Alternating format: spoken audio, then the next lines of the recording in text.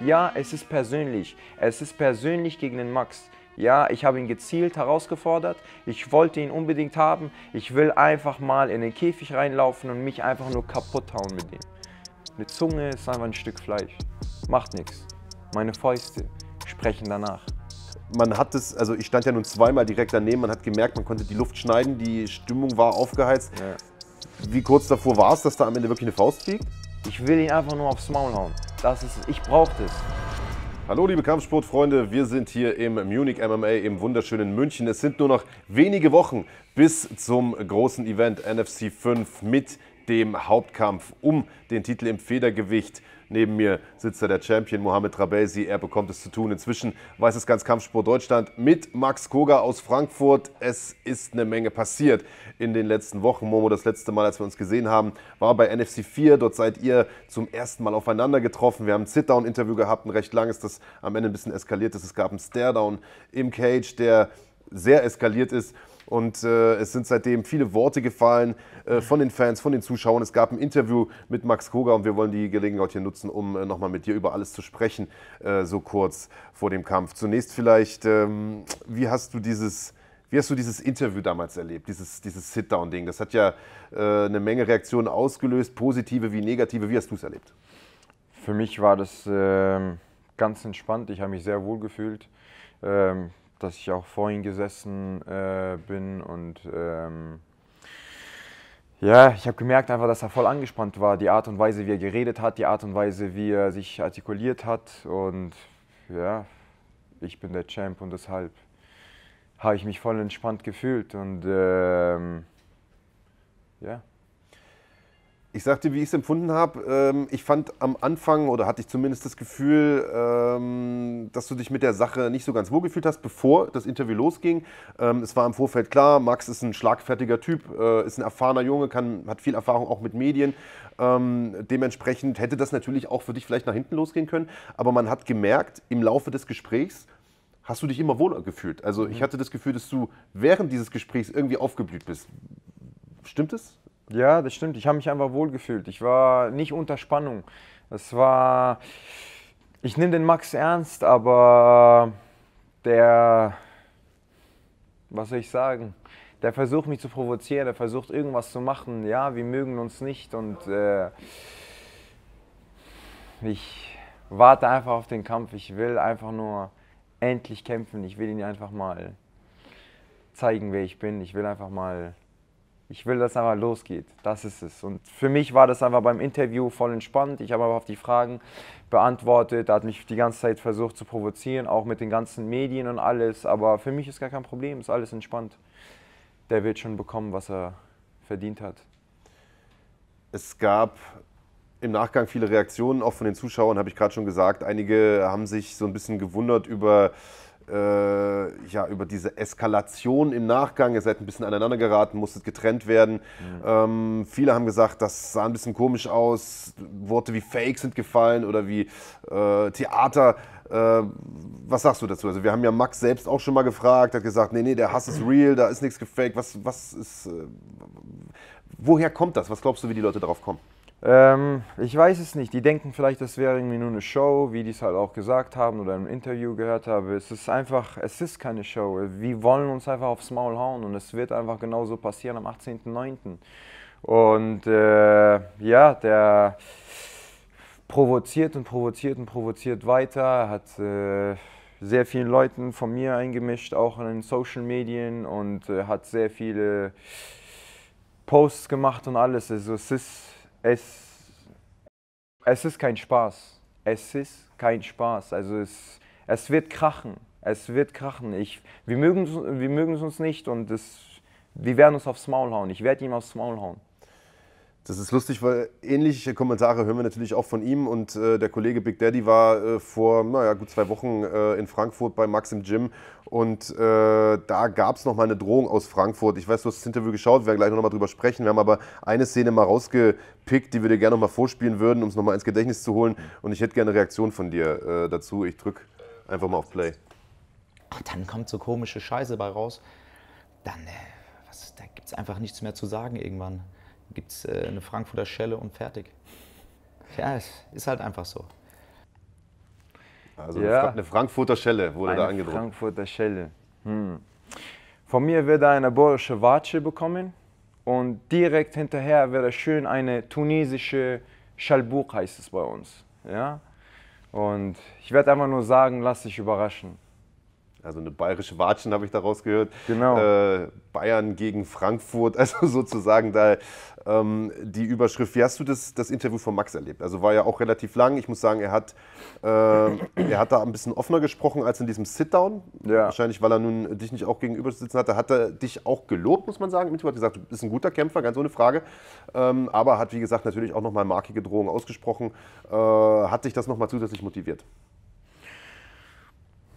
Was heißt, was heißt, das hat mich einfach zusätzlich motiviert. Also er kann sagen, was er möchte, er kann sagen, was er will und ähm, ja, das, was er sagt, interessiert mich nicht, sondern ich mache einfach mein Ding und versuche es einfach zu meistern, ja, und ähm, ja, er versucht die ganze Zeit zu provozieren, er versucht irgendwie ein bisschen Wut, ein bisschen Hass von mir rauszukitzeln, aber das bekommt er noch. Ich, meine Fäuste sprechen für mich. Das ist es. Wir haben gerade im äh, Vorfeld schon ein bisschen gesprochen. äh, Das macht man so, bevor man ein Interview führt. äh, Kleines Vorbereitungsgespräch. Du hast gesagt, du hast dir eigentlich für dieses, für dieses Interview, bei dem wir gegenüber saßen, hast du dich eigentlich noch ein bisschen zurückgehalten. Du hast dir viele Sachen aufgespart, weil du dachtest, du willst es am Abend äh, vor Publikum sozusagen raushauen, die, die, die ganz harten Dinger, die du dir sozusagen zurechtgelegt hattest im Vorfeld. Ähm, für alle, die äh, das vielleicht auch noch nicht ganz mitbekommen haben, wir hatten ja zuerst diesen Staredown im Käfig gepostet und danach dieses längere Interview. In Wirklichkeit war es aber umgekehrt. Das Interview hat vormittags stattgefunden und diese Geschichte im Käfig gab es abends. Das heißt, da hattet ihr das Interview schon Ja. und deswegen ist diese Situation auch direkt eskaliert. Du kamst ja gar nicht dazu, irgendwas zu sagen, weil er sofort wieder auf dich losgegangen ist. Warst du da ein bisschen überrascht, dass das sofort wieder in diesen Eskalationsmodus ging? Nein, ich war nicht überrascht. Das ist ja sowieso, wie du es gesagt hast, schon im Nachmittag beim Interview ist es sowieso schon ein bisschen eskaliert und äh, da wollten wir uns unbedingt schlagen, aber es geht nicht. Es geht nicht. Wie ich werde nicht dafür bezahlt und äh, ja, wir wollen auf jeden Fall, dass der Kampf stattfindet. Aus dem Grund haben wir es nicht gemacht. Deshalb warten wir auch bis zum 18.09., damit es dann offiziell ist. Und äh, ja, ich habe es nicht anders erwartet im Käfig. Und aus dem Grund habe ich mir die ganzen Sachen aufgehoben. Und ich habe mir gedacht, vielleicht für den Abend, dass es eher mehr Publikum und mehr Kamera auf ihn gestellt äh, sein werden. Und das hat ihn auch mehr gejuckt. Und wie ich das Interview von ihm angeschaut habe, er hat gemeint so ja, ähm, ich konnte nichts dazu was sagen, weil ich mit den Gedanken woanders war und keine Ahnung was, äh, ich war da. Ich war nirgendwo mit den Gedanken. Ich war da. Ich habe das gesagt, was ich sagen wollte. Ich habe das gemacht, was ich machen wollte. Und am 18.09. werdet ihr die weiteren Ergebnisse sehen. Ich war während dieses Interviews ein bisschen überrascht, dass ähm, Max tatsächlich ernsthaft angefressen wirkte. Ich habe ihn ja auch mehrfach darauf angesprochen. Äh, er hat sich das offensichtlich tatsächlich irgendwie zu Herzen genommen, die ganze Geschichte. Ähm, ich fand, du wirktest eher so ein bisschen, ich will nicht sagen, ja, du hast ja selbst gesagt, locker, so ein bisschen, ja, hast dich da mehr oder weniger wohlgefühlt. Das ist zum Ende hin, finde ich, aber auch ein bisschen gekippt nach dieser Schubserei, weil da sind einige harte Worte auch gefallen auf beiden Seiten. Gab es einen Moment, wo du selbst ernsthaft auch wütend warst, wo du gemerkt hast, okay, jetzt, jetzt kotzt mich die Sache auch an? Handgreiflichkeit mag ich nicht. Äh, äh. Sondern wir können gerne reden, aber sobald es bis zu einem bestimmten Punkt kommt, ich stehe auf und ich mach's. Kein Problem. Ich brauche keine Menschen, die hinter mir stehen. Ich muss nicht sagen, meine Frankfurter Jungs, meinen Club, Nachtclub und keine Ahnung was, sondern ich bin da. Ich stehe als Mann da. Willst du dich hauen? Ich bin da. So habe ich zu Hause gelernt. Mann steht sein Wort und er haut sich. Ja? Und der Max hat immer geredet, so, äh, ja, ähm, meine ganzen Frankfurter und keine Ahnung, der hat irgendwelche Sachen jedes Mal reingehauen. Dann hat er irgendwann mal gesagt, komm, wir stehen jetzt auf, jetzt sofort ist aufgestanden und komm mal her und komm mal her. Kein Problem, ich bin da. Ich bin da und ich mach's auch. Aber es lohnt sich nicht. Am, am Ende lohnt es sich nicht. Für mich. Für mich. Und deshalb ist auch nicht so viel passiert, aber ja, provoziert hat er mich nicht wirklich, sondern entspannt. Ja? Aber wenn er mich wirklich, wirklich, also wenn ich wirklich ausraste, dann läuft es ganz anders. Und da brauche ich niemanden dafür, sondern ich mache es selber. Aber ich kenne meine Grenzen. Die Frage kam ein paar Mal von Zuschauern, Mensch, äh, wenn die sich so hassen, warum hauen die sich denn nicht direkt in die Fresse, sondern schubsen sich da nur so ein bisschen rum oder ringen da ein bisschen miteinander. Jetzt muss man sagen, äh, in der Geschichte des Kampfsports äh, gab es so eine Situation relativ selten, dass tatsächlich Fäuste auch geflogen sind. Du hast es gerade gesagt, äh, da steht dann ein Kampf auf dem Spiel, niemand wird dafür bezahlt, es kann eine Menge passieren. Da haben sich die meisten schon im Griff. Dennoch, man hat es, also ich stand ja nun zweimal direkt daneben, man hat gemerkt, man konnte die Luft schneiden, die Stimmung war aufgeheizt. Ja. Wie kurz davor war es, dass da am Ende wirklich eine Faust fliegt? Kurz davor. Kurz ja. davor, ja. Es ist. Ähm, ich, ich kann das nicht. Ich kann es nicht. Ich, wenn ich will, ich mach's. Aber ich zögere noch gerne. Ich zögere noch. Ich, werd, ich warte auf den richtigen Moment, wie ich es auf dem Interview gesagt habe. Ich brauche diese noch mehr Spannung. Ich brauche den Kick. Ich brauche diese dieses, das, was man einfach spürt beim Kampfsport, das, was man einfach spürt beim Kämpfen. Genau das brauche ich. Und da reagiert mein Körper direkt. Aber Interview, ein bisschen hin und her gerede, ein bisschen hin und her gelaber. Mach, sag. Eine Zunge ist einfach ein Stück Fleisch. Macht nichts. Meine Fäuste sprechen danach. Deshalb. Fäuste sprechen lassen kannst du am 18. September bei NFC 5. Äh, und da wird eine andere Situation äh, sein als bei deinem letzten NFC-Auftritt. Dich haben wir ja selbst dort gesehen äh, bei NFC 3. Da war die Halle noch leer, da mussten wir ohne Publikum veranstalten aufgrund von Corona. Bei eurem Staredown waren ein paar Zuschauer drin, aber es durfte aufgrund von den Corona-Bestimmungen nicht viele Leute in die Arena. Jetzt können wir den Saal ausverkaufen. Äh, das heißt, die Hütte wird voll sein. Du hast die Frankfurter Jungs jetzt schon ein paar Mal angesprochen. Ähm, die waren auf jeden Fall schon fleißig. Die haben einen Haufen Tickets gekauft. Also ich sage mal, gut ein Drittel der Halle wird wahrscheinlich mit Frankfurtern voll sein. Das heißt, die Atmosphäre wird natürlich äh, so sein, dass die Leute größtenteils hinter Max Koga stehen.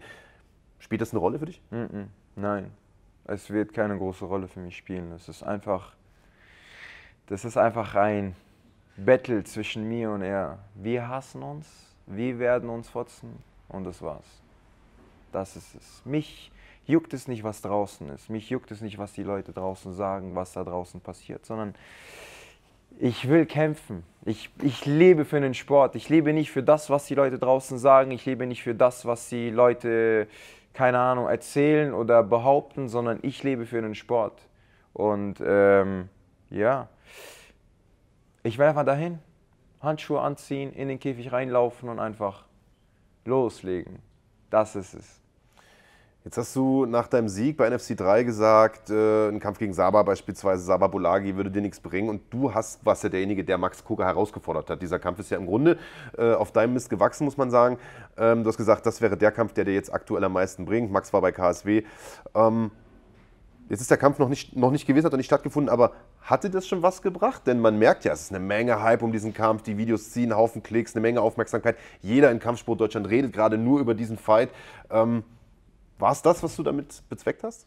Ich sag's nochmal, der, der Saba Bolagi und äh, Sascha Schaman, die werden mir in meine Karriere, in meiner Meinung nach, nichts bringen. Es sind super Jungs, es sind starke Athleten, aber ich wollte gezielt, ich wollte unbedingt den Max haben. Einfach gezielt. Es geht nicht darum, wer, ich wollte nicht den Saba Bolagi oder ich wollte, ich wollte unbedingt den Max. Er, einfach so. Es hat mich einfach gejuckt, es hat mir einfach gefallen, ich habe es gemacht. Ich habe es mir erlaubt. Es ist meine Meinung, es ist meine Entscheidung. Er hat es einfach angenommen. Er, wie er es gesagt hat, er wurde das allererste Mal in seinem Leben äh, herausgefordert. Hier kriegst du es. Das ist es. Ich habe es gemacht. Es gab ein paar Kommentare in die Richtung, dass dieser ganze Trash-Talk vielleicht auch einen Tacken zu weit ging. Das ist ja eine Diskussion, die äh, momentan ohnehin sehr, sehr viel geführt wird. Stichwort Conor McGregor, der da ein paar Mal über die Stränge geschlagen ist, weit unter der Gürtellinie gelandet ist. Ähm, bei euch landeten viele Sachen auch unter der Gürtellinie. Man kann sagen, auf beiden Seiten. Also Max mit diesen äh, ja, ich sag mal, homosexuellen Anspielungen. Äh, du hast ihn so ein bisschen auf seine, auf seine Haargeschichte angesprochen. Ist das was, was für dich in Ordnung geht? Gehört dazu? Oder sagst du, Mensch, äh, brauche ich eigentlich nicht? Muss nicht sein. Ja. Wenn es passiert, kein Problem. Er hat, das die, er hat damit angefangen und er wollte es ein bisschen reinpushen. Kein Problem. Also ich habe jetzt nicht wirklich viel mitgemacht, Aber ich hatte auch ein paar Sätze, wo ich ein bisschen raushauen äh, wollte. Und äh, ja, der hat es auch danach, na, nach dem Interview und alles, hat er auch schon noch weitergemacht und hat noch meine Familie mit einbezogen. Und ähm, ja, ich lasse es so. Ich lasse es so. Ich habe Bock. Ich habe Bock. Lieber Maximilian, sei einfach ready am 18.09. Ich habe schon ein paar alte Geschichten von dir. Also, sei einfach ready. Wir werden uns fotzen. Es wird geil. Es wird, es wird nice. Ich habe Bock drauf. Ich habe Bock drauf. Ich, Ich habe dich äh, das im letzten Interview schon gefragt. Ich stelle die Frage aber nochmal. Wir haben im Vorfeld äh, ja auch die Zuschauer um Fragen gebeten. Die Frage kam ein paar Mal rein. Ähm, und jetzt ist ja auch ein bisschen Zeit vergangen seit dem letzten Gespräch. Äh, du hast gerade zu mir gesagt, du hast dir ein paar alte Kämpfe von ihm auch angeschaut, Videostudium betrieben. Die heiße Phase läuft ja jetzt der Wettkampfvorbereitung. Äh, deswegen ist es, glaube ich, okay, wenn man die Frage auch nochmal stellt. Was glaubst du, wie wird der Kampf ablaufen? Was sind seine Stärken? Was sind seine Schwächen? Wie willst du die Stärken entschärfen und wie willst du die Schwächen nutzen? Ich will einfach nur reinlaufen, einfach hauen. Das ist es. Ich will einfach nur reinlaufen, einfach hauen. Ist egal, ob er Stärken und Schwächen hat. Er hat bestimmt seine Stärken, aber er hat genauso seine Schwächen. Ich habe genauso meine Stärken und vielleicht auch meine Schwächen. Aber ich will einfach nur reinlaufen und einfach stehen und mich einfach hauen. Das brauche ich. Genau das will ich bei dem Kampf. Aus dem Grund habe ich ihn gezielt angesprochen. Es geht, ja, es ist persönlich. Es ist persönlich gegen den Max. Ja, ich habe ihn gezielt herausgefordert. Ich wollte ihn unbedingt haben. Ich will einfach mal in den Käfig reinlaufen und mich einfach nur kaputt hauen mit ihm. Das ist es. Wie es enden wird, sehen wir dann. Wann es enden wird, sehen wir dann. Aber mein, mein Ziel gerade ist es, einfach in diesen Käfig reinzulaufen und einfach mich kaputt zu schlagen mit dem Typen. Ich will ihn einfach nur aufs Maul hauen. Das ist. Ich brauche das. Es, es kribbelt im Körper. So, ich weiß es nicht. Es ist einfach so ein Gefühl, denn man, es ist eine Befriedigung. Es wird für mich an dem Abend einfach eine Befriedigung sein. Einfach es ist, kein, es ist eine Spannung da, auf jeden Fall, aber es wird mir so gut tun. Einfach mal hauen, einfach schlagen. Das vermisse ich. Ich vermisse es so sehr. Boah. Und es wird dir bei Max jeden einzelnen Schlag, es wird wie Kaviar schmecken. Es wird wie Kaviar schmecken. So gut wird es sein. Und deshalb, boom, Also, man merkt, die Vorfreude ist da bei dir. Ähm, Ich habe das aus dem Interview so entnommen, auch bei Max. Ich habe mit ihm jetzt nicht nochmal gesprochen. Aber eins ist Fakt, bei uns ist sie auch da, bei den Fans da draußen, glaube ich, auch am 18. September. Ähm, habt ihr die Chance, euch zu hauen, vielleicht ein bisschen Kaviar zu kosten. Äh, das Ganze gibt es live bei Fighting auf YouTube. NFC 5, der große Hauptkampf. Es geht um den Titel im Federgewicht. Der Champion Mohamed Rabelsi bekommt es zu tun mit dem Frankfurter MMA Spirit Kämpfer Max Koga. Dazu gibt es die Viertelfinalkämpfe der NFC Series. Eine Riesencard. Man kann, glaube ich, mit Fug und Recht behaupten, die beste Card des Jahres in Deutschland. Das Ganze im Maritim Hotel in Düsseldorf. Tickets gibt es bei Eventim, wer keins mehr ergattert. Schaut euch das Ganze an bei Fighting auf YouTube. Mo, vielen Dank. Das letzte Wort ist wie immer deins. Vielen Dank, dass ihr da wart. Äh, Ich möchte mich äh, bei allen meinen Leuten bedanken, auch für, bei meinen Sponsoren, bei meinen Leuten, die mir bei der Vorbereitung gerade helfen. Und äh, Leute, verpasst einfach den Kampf nicht. Es wird krachen. Es wird geil. Ich habe richtig Bock drauf. Und lasst euch einfach überraschen, wie es wird. Es wird auf jeden Fall lustig werden. Ja, vielen Dank. Dank. Danke.